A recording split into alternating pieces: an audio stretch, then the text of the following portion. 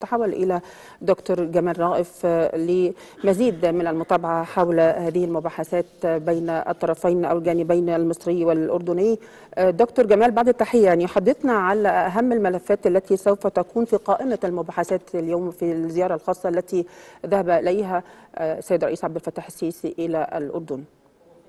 تحياتي لحضرتك وتحياتي لكل السادة المشاهدين. بالتأكيد بداية يجب أن نشير أن العلاقات المصرية الأردنية في الحقيقة علاقات مميزة للغاية ولديها روابط شعبية وثقافية وتاريخية وأيضا جغرافية وأيضا لدى مصر والأردن مسؤولية تاريخية تجاه القضية الفلسطينية مما يجعل هذه القضية في الحقيقة محور النقاش الأول في هذا التوقيت فيما يتعلق طبعا بلقاءات القادة أو حتى على صعيد طبعا وزراء الخارجية أو مختلف دوائر صنع القرار ما بين البلدين. وبالتالي نحن نتحدث عن زيارة للسيد الرئيس عبد الفتاح السيسي إلى العاصمة الأردنية عمان في توقيت بالغ الأهمية خاصة إن الجانبين كما أوضحنا لديهم الآن اهتمامات مشتركة فيما يتعلق بوقف إطلاق النار، الرفض التام لفكرة التهجير القسري، إيجاد هدنة في قطاع غزة، إحياء أو دعم أيضا العمل الإنساني ودعم المسارات الخاصة بالعمل الإنساني وحشد الراي العام الدولي لمساندة الجهود المصرية في هذا الإطار، أيضا ما يتعلق طبعا بمستقبل القضية الفلسطينية وإيجاد حل عادل وشامل للقضية الفلسطينية مبني على أساس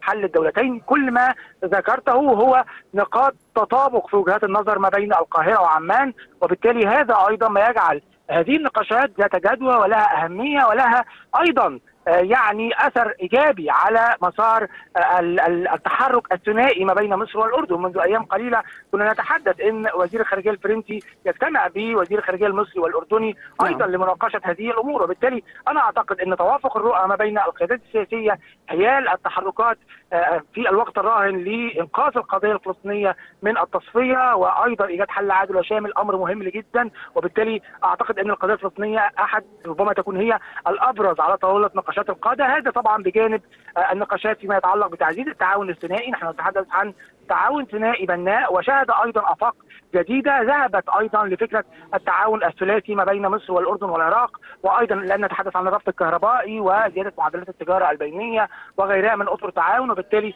أنا أعتقد إنه إنه لقاء مهم للغاية سواء على صعيد تعزيز العلاقات الثنائية أو طبعا تعزيز التعاون فيما يتعلق بالعمل المشترك فيما يتعلق بالقضايا الإقليمية وطبعا هنا على رأس هذه القضايا القضية الخاصة بالقضية الفلسطينية وبالتحديد قطاع غزة. ما هي دلالات توقيت هذه الزيارة في الوقت الحالي على الصعيد الإقليمي؟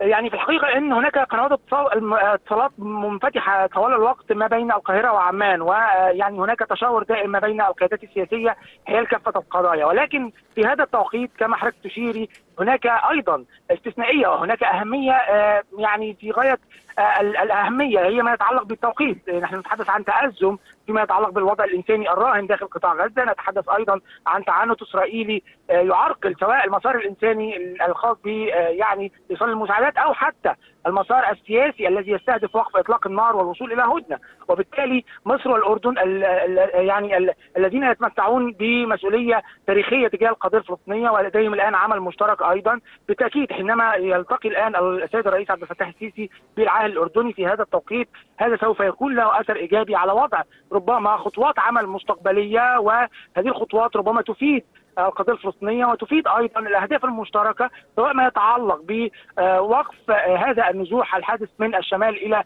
الجنوب في قطاع غزة ووقف إطلاق النار وأيضا يعني دعم المسار الإنساني. وأعتقد إن نقاط الاتفاق كما كما قلنا منذ قليل فيما يتعلق ما بين القاهرة وعمان هي المحرك الأساسي. وكلا الطرفين الآن يتحدث عن خطورة الأوضاع وأيضا الرفض التام لفكرة التهجير القسري. وبالمناسبة ما يحدث في الضفة هو نفسه ما يحدث في قطاع غزة ولكن الأدوات تختلف. جيش الاحتلال يريد إحداث تفريغ ديموغرافي للسكان في السكان الفلسطينيين من الضفة وأيضا من قطاع غزة. طيب أستاذ رائف يعني كيف ترى وتقيم الدور الأمريكي الغائب على الضغط على إسرائيل لإيقاف عملية إطلاق النار في قطاع غزة؟ يعني الموقف الأمريكي حتى الآن يعني يجب أن يتحرك أكثر إلى مواقف متقدمة، نعم نحن نتحدث عن مواقف تحركت بشكل إيجابي نحو تصريحات نحو امتناع عن التصويت في مجلس الأمن وأول مرة الولايات المتحدة الأمريكية تستخدم الفيتو أمام الجانب الإسرائيلي أو يعني لصالح الجانب الإسرائيلي وهذه مواقف إيجابية. ولكن هذه المواقف الإيجابية يجب أن تترجم على أرض الواقع من خلال أن يتحرك أيضا الضغط الأمريكي لمراحل متقدمة، هنا الحديث عن وقف الامدادات العسكرية وقف المساعدات الاقتصادية. هذا سوف يكون ناجعا للغاية ومؤثرا على حكومة نتنياهو المتطرفة التي تريد اطاله أمد الحرب وبالتالي يجب أيضا على الإدارة الأمريكية أن ترى الآن أن هناك حاجة ماسة لزيادة الضغط ونقل الضغط إلى مراحل متقدمة لا يمكن أن نكتفي فقط بالضغط الأمريكي المتعلق بالشعارات السياسية والضغط السياسي أو حتى بعض الضغوط المتعلقة بالمستوطنين والعقوبات على المستوطنين يجب أن نرى الآن ضغطا أمريكيا يصل لمرحلة وقف الامدادات العسكرية للجانب الإسرائيلي حتى نستطيع أن نصل إلى وقف كامل لإطلاق النار. دكتور الأستاذ جمال رائف الكاتب الصحفي بشكر حضرتك على هذه الإيضاحات